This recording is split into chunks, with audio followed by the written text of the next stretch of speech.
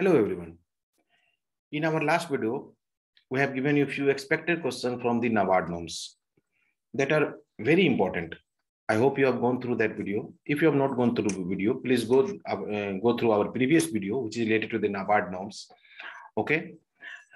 And uh, today we are going to give some uh, overall current affairs, uh, some good questions, expected questions, which can maybe asked in the examinations. In the next video, we'll try our best to give you the videos, uh, some few more questions from the NABARD norms and subsidiaries, all this. Okay. So let's start our today lectures. At least try to hear the uh, questions and the answers because these questions, as it is, you, you, you have to remember because questions, there is a chances that if the IBPS focuses on the current affairs, then questions can be asked, such questions can be asked in the examinations. Okay, let's start with the first question highest number of FPO is present in which state? UP, Karnataka, Kerala, Maharashtra, Madhya Pradesh. FPO, you are very aware of these terms now. Nowadays, this is very popular. Normally also, and as well as the ex exam point of view also. Okay. Then highest number of FPO, it is present in a UP followed by the Karnataka. Okay. Then highest number of FPO means food producer organization is present in Uttar Pradesh. Highest number of cold storage is present in which state? UP, Gujarat, Madhya Pradesh, West Bengal, Maharashtra.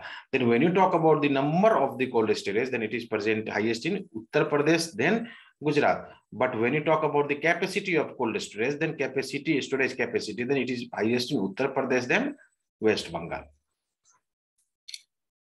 Okay, next question. According to the second advance estimate 2020-21, which state is leading producer of guava? UP, Madhya Pradesh, Maharashtra, Kerala, Bihar. Now, see, when you talk about the leading producer of guava, guava, then it is UP followed by the Madhya Pradesh. Okay. In terms of area also, this is the only sequence. UP highest in area under, UP has the highest area under the guava cultivation, followed by the Madhya Pradesh. Okay. Next question. According to second advance estimate of 2020-21, which state is leading producer of tomato?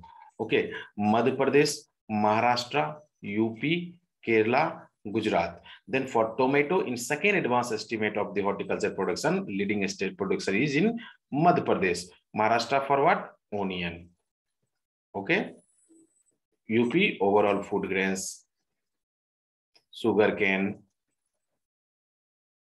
okay, peas, masoor, miss lentil, all these are in UP. Next. What is the budget outlay of PM Kisan for the year 21-22 in crore? 65,000, 16,000, 10,000, 5,000, 7,000. For the year 21, 22, in, when you talk in crore, then for the budget outlay for the PM Kisan is 65,000 crores. Okay. And for the crop insurance, it is 16,000. Okay.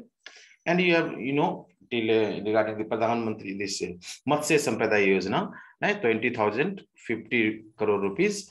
That is till the uh, year 24, 25. Okay.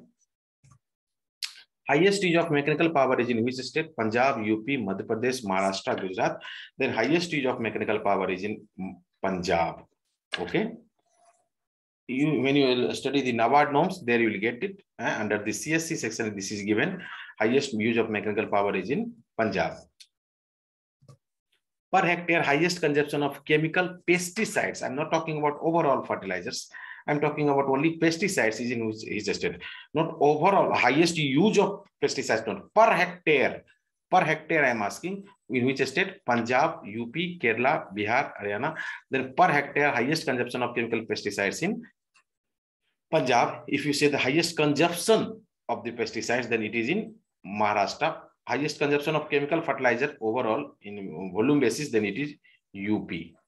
Okay and see per hectare highest uh, and this per hectare pesticides is in Punjab, overall pesticides is in Maharashtra. Okay, biopesticides in Rajasthan, highest consumption. Okay, now when you talk about the lowest uh, consumption of the chemical pesticides, then it is in Arunachal Pradesh.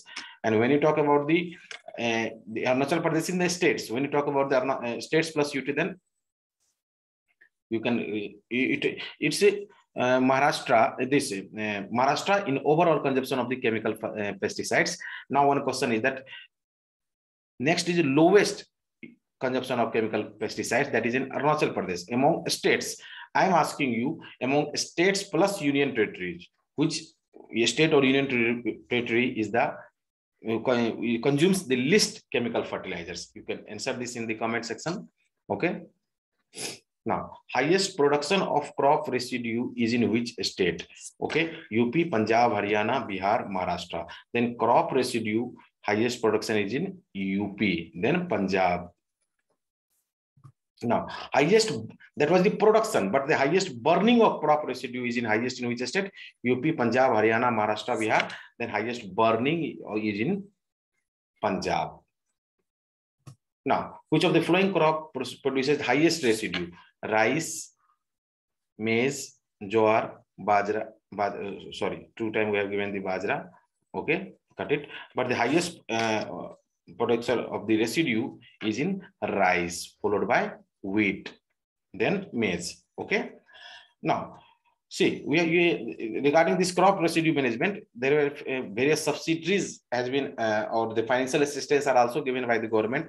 In uh, when you see that that into crop residue management schemes has been launched in 2018, and for that, uh, for the individual, they are giving the uh, for take uh, this buying the implements or the for setting up of the custom hiring centers eh, from where you can take the implements or the machinery on the rent for establishment CSC 50% for the uh, cost of the uh, will be for the individuals and for the FPO 80% of the cost will be given as a financial support.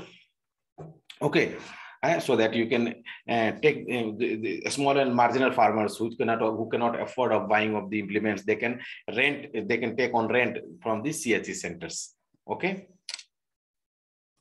then this was the few important questions from our uh, current affairs sections.